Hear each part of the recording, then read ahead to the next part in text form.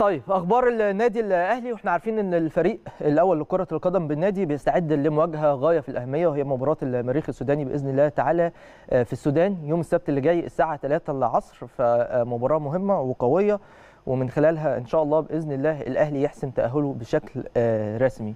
ومن خلالها كمان تكون فرص النادي الأهلي في الصعود كأول مجموعة تكون فرص كبيرة بعد انتهاء هذه المباراة بإذن الله تعالى. الأهلي منتشي بانتصار كان غالي قوي على فريق فيتا كلوب هناك في الكونغو بنتيجه 3-0 بره أرضك. ده حاجة كبيرة قوي. وللأسف إحنا عندنا هنا في مصر يعني البعض يقول لك إيه أصل لما الأهلي مثلا يكسب أو أي فريق مصري يكسب بره أرضه بنتيجة كبيرة يقول لك أصل الفريق اللي كان بيلعبه ده فريق ضعيف. مع إن الفريق ده اللي اتعادل مع النادي الأهلي 2 2 في القاهرة. آه كنا أحسن بكثير وضيعنا أهداف كتيرة لكن دايما ما بحبش إن إحنا نقلل من انتصاراتنا الغالية والمهمة اللي زي دي. لكن في كل الأحوال في كل الأحوال مباراة وانتهت اللي هي مباراة فيتا. إحنا مقبلين على مباراة المريخ بإذن الله.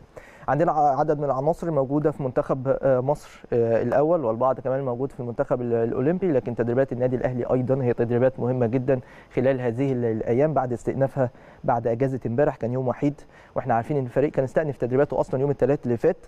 وامبارح كان اجازه والنهارده بيواصلوا ويستأنفوا تدريباتهم الهامة جدا في إطار تصعيد عدد من الناشئين في إطار تجهيز عدد من اللاعبين المهمين في الفريق الأول علشان يكون الكل على هبة الاستعداد للمواجهات المرتقبة المقبلة سواء على الصعيد المحلي أو الصعيد العالمي. بالتالي خليني أتكلم مع حضراتكم بخصوص أخبار النادي الأهلي وبعد استئناف الأهلي تدريباته النهارده. بالمناسبة المران النهارده كان في تمام الساعة العاشرة صباحا.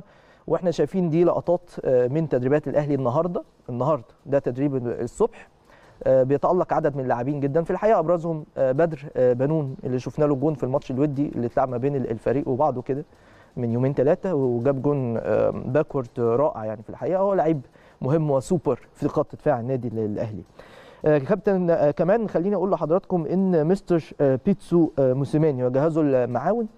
اطمنوا على أيمن أشرف خلال التدريبات النهارده وكان في جلسة مع اللاعب واطمنوا على حالته من خلال الجلسة دي. بعد ما كان إحنا كلنا عارفين إن أيمن أشرف مصر كلها كانت عارفة مصر كلها كانت عارفة إن أيمن أشرف مصاب عنده إصابة في الركبة وإن الأفضل ما يسافرش. لكن مع ذلك كان قرار الكابتن حسام بدري في اصطحاب أيمن أشرف. لكن أيمن انتظم النهارده في المران جماعي وشارك في كل فقرات المران. فبالتالي الحمد لله أيمن بقى جاهز للمباراة المقبلة أمام مريخ وهنا أهمية جاهزية أيمن أشرف ليه لأن أنت عندك في المركز ده هو أيمن أصلا إحنا متعودين إن هو بيلعب كمساك جنب بدر بنون ثنائية رائعة في الحقيقة في خط الدفاع يعني.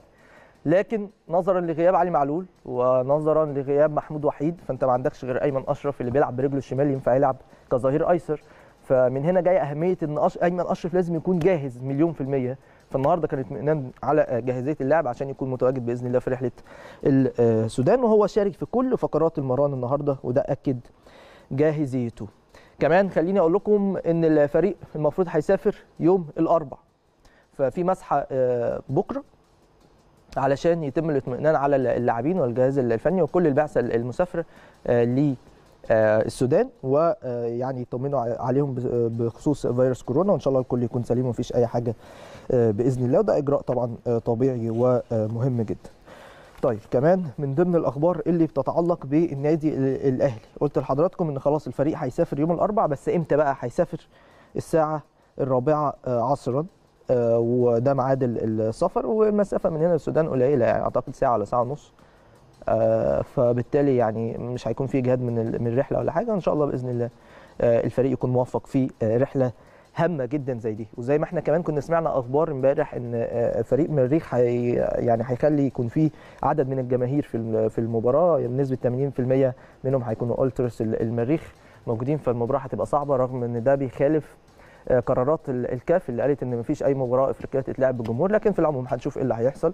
ايا كان في جمهور مفيش جمهور لعيبه النادي الأهلي بإذن الله رجالة ويقدروا إن هم زي ما عودونا على مدار الفترات اللي فاتت إن هم بإذن الله يرجعوا بانتصار غالي للمرة الثانية على التوالي خارج الأرض من السودان على فريق محترم زي فريق المريخ. طيب كمان في إطار الاستعداد لهذه المباراة كان النهارده في جلسة ما بين مستر بيتسو موسيماني وسيد عبد الحفيظ مدير الكرة للتنسيق على كل الجوانب الإدارية اللي بتتعلق بالسفر وكل الترتيبات اللي بتتعلق كمان بالفريق هناك في السودان. وده بيبقى أمر طبيعي والأهلي دايما بيبقى عامل حساب كل كبيرة وصغيرة بتتعلق بأي مباراة هيلعبها سواء جوه هنا في مصر أو بره في أي دولة. فده جانب إداري في الحقيقة النادي الأهلي بيقوم بيه بشكل جيد وبالتحديد كمان الكابتن سيد عبد الحفيظ مدير الكرة صاحب الخبرات العظيمة في موقعه. خلينا كمان نطمن على والتر بواليا وديانج إحنا عارفين إن كل واحد فيهم مع منتخب بلاده. والتر بواليا موجود مع الكونغو في المعسكر بتاعهم في المباريات الخاصة بيهم في التصفيات الأفريقية المؤهلة لبطولة الأمم الأفريقية. بواليا هينضم إمتى للأهلي؟ هينضم مباشرة من الكونغو للسودان مش هيجي على القاهرة. يلحق ببعثة الأهلي بإذن الله في السودان على طول. يوم الأربع أو الخميس بالكثير يكون متواجد مع الفرقة ويستعد للمباراة المقبلة أمام المريخ وولتر. لعيب مهم تنقصه الثقة وهتيجي اجلا أم عاجلا. وأكيد هيكون إضافة بكل تأكيد للنادي الأهلي خلال الفترة اللي جاية. ده فيما يتعلق بولتر بالي. لكن فيما يتعلق بأليو ديانج المتواجد مع منتخب مالي المتأهل لبطولة الأمم الأفريقية. أليو ديانج هيكون متواجد مع البعثة هيتحرك معاهم من هنا من القاهرة. يعني هيرجع الأول من مالي على القاهرة ويسافر مع الفرقة بشكل طبيعي بإذن الله للسودان عشان يستعد مع الفريق بالشكل الأمثل لهذه المباراة الهامة. في كل الأحوال الأهلي إن شاء الله بإذن الله يكون في الموعد والاستعدادات كمان تكتمل بشكل أكبر فور انضمام اللاعبين الدوليين لأن هم بيمثلوا طبعا جزء هام جدا من تشكيلة النادي الأهلي في مختلف المباريات وثقة كبيرة أكيد موجودة في الجهاز الفني واللاعبين إن شاء الله في إطار السعي نحو الحفاظ على أغلى بطولة عند جمهور النادي الأهلي وهي بطولة دوري أبطال أفريقيا واللي كانت آخر بطولة هي الأغلى على الإطلاق يعني بعد فوز النادي الأهلي في نهائي القرن.